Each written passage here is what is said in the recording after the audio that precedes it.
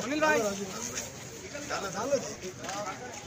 जय तेलंगाना जय तेलंगाना जय तेलंगाना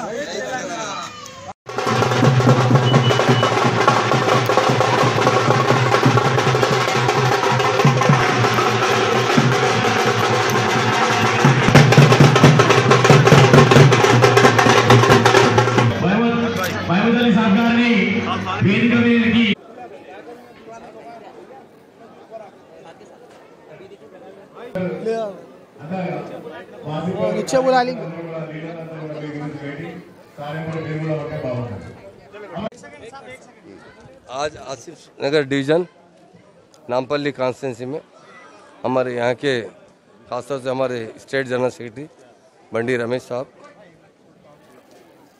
और हमारे आनंद साहब कॉन्स्टिट्यूंसी इंचार्ज। विद्यासागर साहब की सदारत में आज काफ़ी लोग वाल्मीकि समाज के आज पार्टी ज्वाइन करें।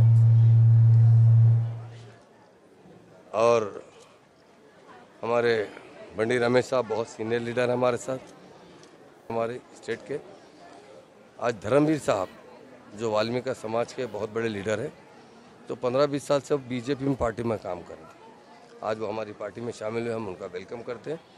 उनका शामिल होने का एक ही मकसद था कि हमारी स्टेट में जो डेवलपमेंट आ रहा है और ख़ास तौर से हमारे आनबुल सी एम साहब, तमाम कौमों के साथ एक साथ तरक्की का जो, उनका जो सपना है, जिसको अमलावरी ला रहे हैं। आज हमारा तेलंगाना स्टेट, इंडिया में नंबर वन स्टेट है, तरक्की की बुनियाद पर। लोग मजहबी बुनियाद की बात करते हैं, मजहबी बुनियाद से कोई मुल्क तरक्की नहीं कर सकता। आप देखिए, जितने मुल्क दुनिया में मजहबी बुनियाद पर आगे बढ़े वो कभी तरक्की नहीं कर सके। जो डेवलपमेंट बेस्ड पर तरक्याती मनसूबे बनाकर जो तरक्की कर वो बहुत तेज़ी से वहाँ के लोग खुशहाल हैं।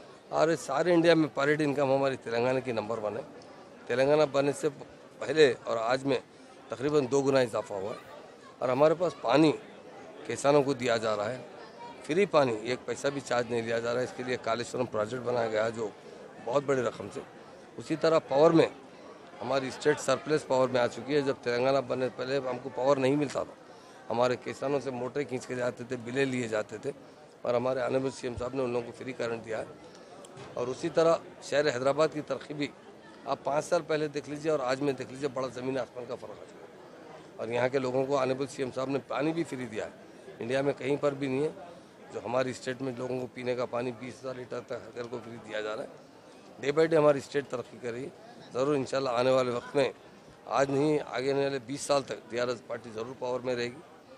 और इस इलेक्शन के बाद, बल्दिया के इलेक्शन के बाद फिर से लोगों में नया जोश आया और आज जो खासतौर से बीजेपी के लोग भी हमारी पार्टी में शामिल हो रहे हैं और आज यहाँ पर जो वाल्मीकि समाज के बड़े लीडर थे धर्मवीर साहब उनके साथियों के साथ आज हमारी पार्टी में शामिल है। हम उनका वेलकम करते हैं। ये पार्टी इंडिया में वाहिद पार्टी जो डेवलपमेंट में काम। सर नागार्जुना सागर में बाई इलेक्शन होने जा रहा है। कांग्रेस पार्टी बोल रही है कि हम हमारा झंडा गाड़ते बीजेपी के बंडी संजय बोल रहे हैं कि हम फिर से सेकंड दुबाका करते हैं। देखिए साहब ये बड़ी बड़ी बातें करने वाले तो बहुत करते हैं। तरक्की की बुनियाद पर इलेक्शन होगा। और उस टीआरएस पार्टी बड़ी मेजॉरिटी से जीतेगी, वहाँ पर ऐसी बात नहीं है। हमारे पास भी बंडी रमेश है, ये टाइगर है हमारे पास।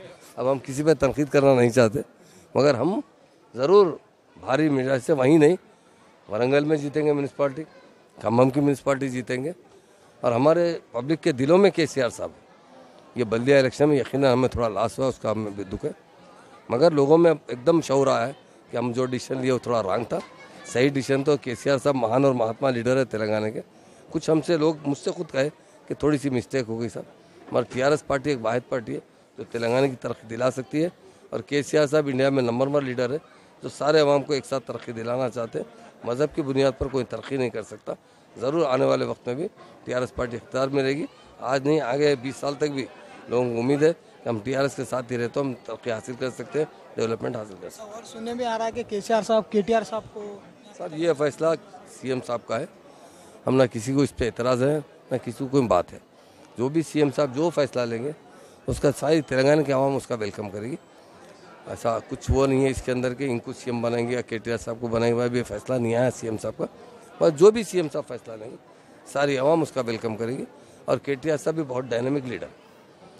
इंडिया में जितने सीएम के बेटे हैं, कहीं भी देख लीजिए आप, चाहे चंद्रबाबू नायडू को देख लीजिए या और उनके बेटे को देख लीजिए, या किसी भी जो भी पॉलिटिक्स में आ रहे हैं, जिसके भी बेटे। सबसे अगर कोई समझदार, अच्छी तरीके से आवाम के साथ रवाबित रखते हैं, और बहुत बहुत डेवलपमेंट के अंदर हमारी जो स्टेट का डेवलपमेंट है, उसमें जिस तरह के सी साहब भी आगे, उसी तरह के टी साहब भी आगे। आप उन्होंने आईटी मिनिस्टर है, आप देखिए आईटी में इंडिया में नंबर वन है, वो म्यूनसिपल एडमिनिस्ट्रेशन मिनिस्टर है, हमारा म्यूनसिपल निज़ाम देखिए इंडिया में नंबर वन है। इंडस्ट्री मिनिस्टर है इंडिया में सबसे ज़्यादा इंडस्ट्रीज़ हमारे पास है। और हमारी इंडस्ट्रीज़ पॉलिसी इंडिया में नंबर वन है। तो ज़रूर अगर जो भी हमारे ऑनरेबल सीएम साहब फैसला लेंगे के साहब, जो फैसला लेंगे, उसका तमाम के तमाम हम लोग वेलकम करेंगे। उसकी कोई उसमें किसी चीज़ की वो नहीं है।